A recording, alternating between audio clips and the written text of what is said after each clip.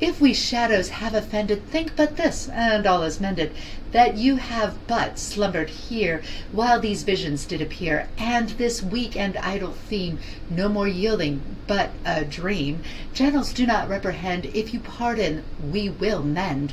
And as I am an honest puck, if we have unearned luck now to skate the serpent's tongue, we will make amends ere long. Else the puck a liar call. So good night unto you all.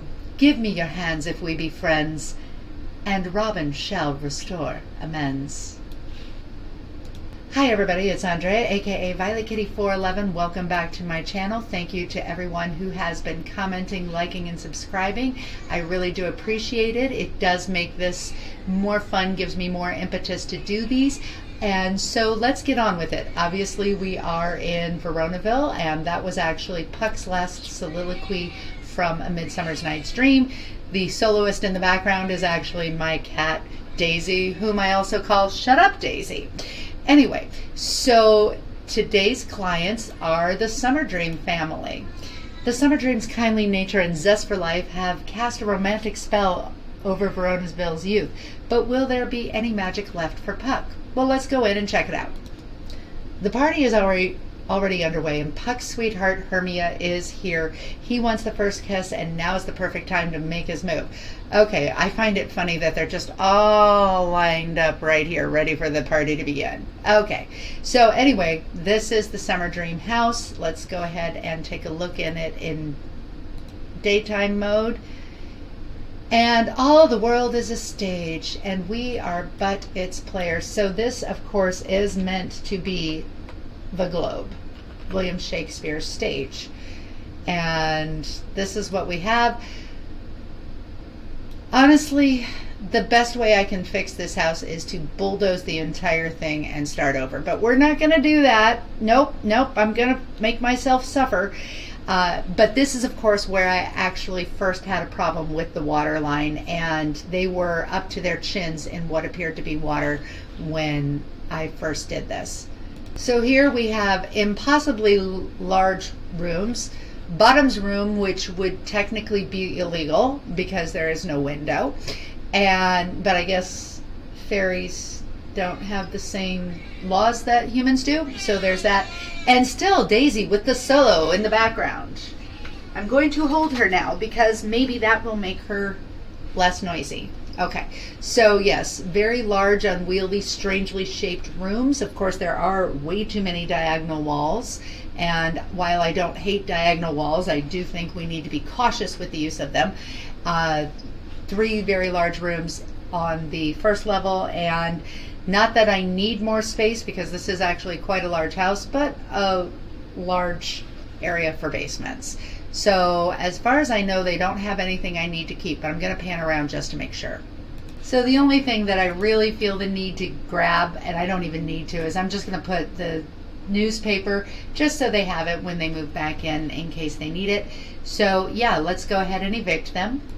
All right, from the neighborhood screen, let's go ahead and evict our family. They had about 6,500 simoleons in their bank account, and let's see, their budget is 185. They have 11 friends, so they could jet up the work ladder. So, and the building sells for 79,300. Okay, sounds good. So here we are in the home before I deconstruct it. Now, I actually like the backstage area. I think it's, or the the backyard, which is the stage area. I think that's actually kind of really inspired. I, while I would never choose to build a home this way, I'm going to keep it. I am. I'm going to keep it.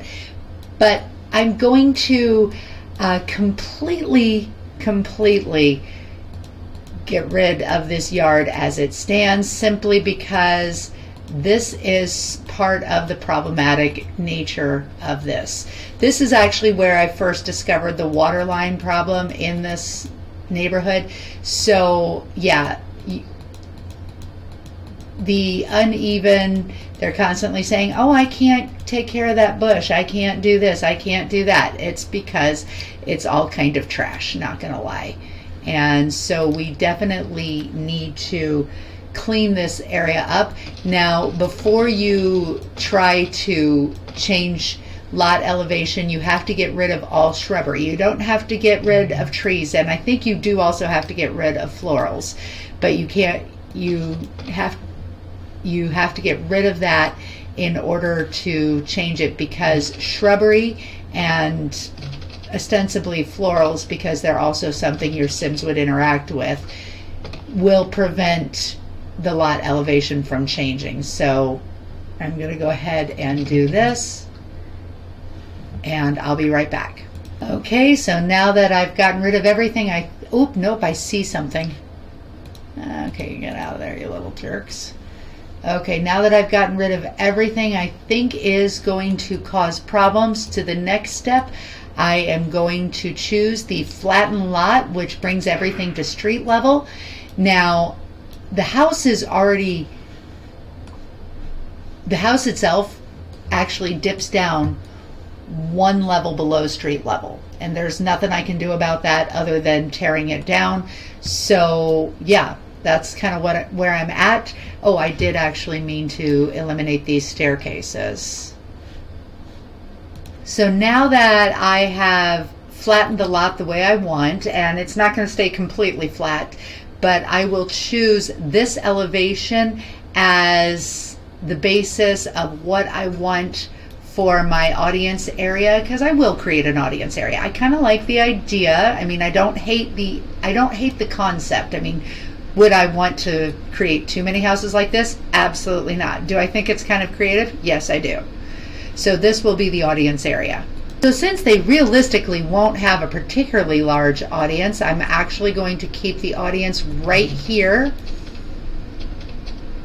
and we're going to do 10 by 4 and then now this one was with a later I don't remember probably nightlife but maybe university where we had stages so we will have a two-tier audience area so let's face it there's no way they're going to have 18 people watching their performance but it's fun to pretend right and instead of actually smoothing the left terrain first, I'm actually going to do something. I'm going to put a couple staircases in like this because you can.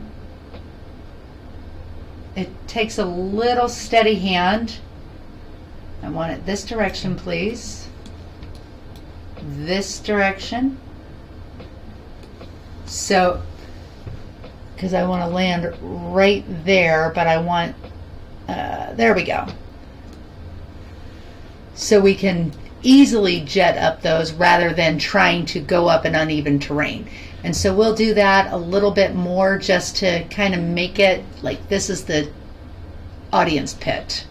So since I have no need for two front doors, we're going to get rid of this guy and I relocated this just a little. Plus I made stairs going down and up so they don't have to say, hey, walking on this terrain is difficult. So when I flattened the lot, the ground within the foundation was raised to a maximum height of exactly three stairs high or three stairs deep, I should say. So if I want to, I know that I can use my my three tile stair trick and this will work. So first thing, I do need to, of course, deconstruct the house so I can do this. And I will go ahead and choose the entirety with the exception of the stage apron for this. So I will put my staircase right there. Delete. And level this off.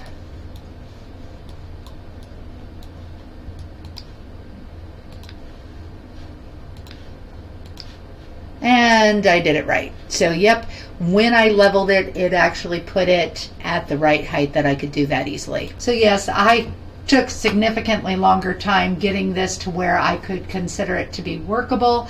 Now I have to figure out a floor plan for this monstrosity.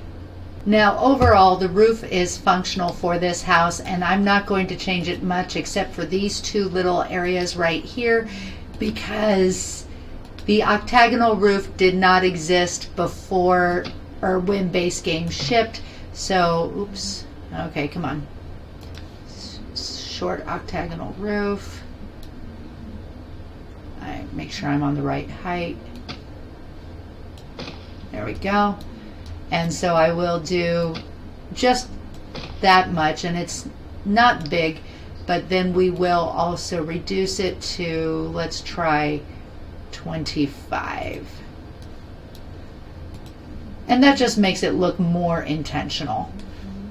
Now I actually toyed with different locations for the staircase and came to the conclusion that the very strange central location was actually for the best. And so we are going to go ahead and do it. And I want this three clicks away from there. And then I will drop it down, rotate it. I'm not going to do the strange next to each other like that because of course we do have a downstairs that we need to be able to access. So there's that. And I am not going to worry about this little space here because for balance, we definitely want it very symmetrical with this. Under normal circumstances, not in love with this idea, but this house breaks all the rules anyway, so there's that.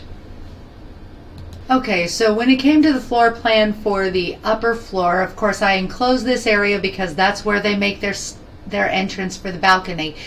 But I made a decision that it is actually easier to just avoid these angles almost entirely. So we're going to section these areas off. Now these two small little areas beneath the turrets will be little powder rooms and these areas will be pretty much ignored. And so from here, I'm going to make two four by five bedrooms, one of which will be bottoms because you know, she needs a bedroom with a window, just saying it's actually required to have a window. And then these two, one would be Puck's and one would be the master. And then we will have identical powder rooms. I might actually make them a little bit, yeah, a little bit different, but pretty much that for the upper floor.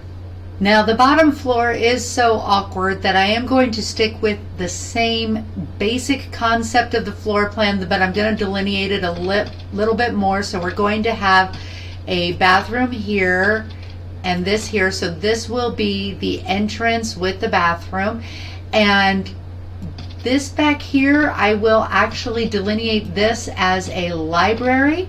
And we will have two unique areas right here that are that are separate. This will basically just be a hallway waiting to get on stage. This will also be a similar area to that. Now this was just one large monstrosity of a kitchen. We're going to give it a specific dining area as well as a kitchen with an eating space. And then when we go downstairs, uh, this will of course be swimming, fishing, exercise, gardening, all that. And as I delineated, this will be the swimming room, general gymnasium area, the garden, and the fishing area. Now let's go ahead and put our textures on. So with all the textures on it, this is what I have. I really went for as much floral inspired as I could find simply because it made sense for this family. Fairies are supposed to be naturalists. Honestly, they should be running around naked, but we can't do that. Anyway, so a lot of the boho, I used a lot of the boho stuff from Apartment Life and also some of the storybook stuff as well as the season stuff. And so here we have Puck's room Bottom's room, whom I have tentatively renamed Blossom in my mind. I haven't done it officially in SimPE, but Bottom is a terrible name, plus the character was actually a male, so there's that. The two bathrooms have upstairs have the roses plus the tile flooring, and then here we've got the uh, Titania's and Oberon's, and we have a nursery in case one comes along. And then, of course, down here we have the kitchen, the dining room, what will be the library, the welcoming room with the with the bathroom and downstairs we have our swimming room general room most likely for working out our fishing room with these this pattern that matches the plant sims skin detail and our gardening room. And so now I just have to furnish it. So I came in well under budget, which is absolutely amazing, and that's why you would definitely want to do any major terrain fixing while you're off the lot because then you don't have to pay for it. It's free. So let's go ahead and take a look. So we enter into a front sitting room, music room, just general recreation room. There's a desk for the kids to drop their homework on. Then we have the little bathroom right here, and we have a more formal conversation here, conversation area. Now down this kind of gangway, we do have a quiet room for chess, art, and reading. Or we have right here to wait in the wings while you're waiting for your cue to go on stage. Okay, and through that hallway we have a bar with some darts and then we have our dining room and our kitchen and they are actually adjoined to the each other like i said i really tried to choose the most naturalistic coverings lots of florals to reflect the fact that they are meant to be fairies and we do have the wedding arch here. I did aim the spotlights directly at the wedding arch to try to create, let's see how it looks at night. So there's spotlights. And I don't know if people sitting on these risers would be able to watch the wedding, but it's fun to say that they could. And so upstairs there is access to waiting for your cue up here. This large hallway up here I just did not do anything with. I wanted to leave it empty. Uh, I came well under budget. Budget's about 185. I'm sitting at 171 and that's having added so much. Titania and Oberon's rooms is in purples, indicating that they are distinctly royal. And then we have a little half bath here for them only and a full bath adjacent to their bedroom. Then I have a little nursery here. I'm about to sneeze. Okay, false alarm. So I have a little nursery with stars and moons. There, the this covering is from Sims Life Stories. And then over here we have bottom slash blossoms room with the canopy bed and a bear and a dollhouse, a couple small dressers. And here we have Pucks with a sleeker bed, a couple of dressers, and a desk, and his own little washroom. And of course, another full bath. So we've got a slide into the pool and a ladder that you don't have to keep there if you don't want. And then I have the lower value hot tub because it just made more sense because it was more natural than the other one. And a couple of exercise bikes, a bathroom that I didn't put any fixtures in, and actually I guess I could, but I won't. And then our little fishing hole. Okay, so here's our family, and I did actually go ahead and put the bathroom as well as some florals in the fishing pond. So let's go ahead and take a look-see.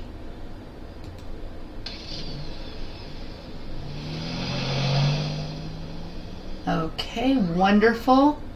And let's take care of something else real quick. They have all gained their wings. Now let's go ahead and get them in and see what they think of the home. And Bottom is enjoying music and dance. And let's, oh nice, you just became friends. We love that for you. You're on your way to having a good day. and they go downstairs and upstairs very easily. That's wonderful. Taking the most inappropriate route because the house has terrible pathing, even though I've tried to make it better than it normally was. And I wanted to make sure she could use this toilet right here. And she can. Wonderful. Which means Bottom is having the same experience. And her wings, well, okay, I guess she can't. Maybe I placed it slightly differently. Okay, interesting to know. And the boys are downstairs playing a little bit of darts. And now we will have the ladies cheer them on. Good job. Get a bullseye there, Puck. And I think it was a success. I'll have to see what I can do with that other toilet. I placed it exactly the way I placed the first one. But it in all, I think it is a much better build. It's still going to be awkward regardless because this is definitely in the top 10 of bad builds that comes in The Sims 2. All right, well, don't forget to comment, like, and subscribe. I will see you soon in the pixelated world, and that's all I have to say. VK out.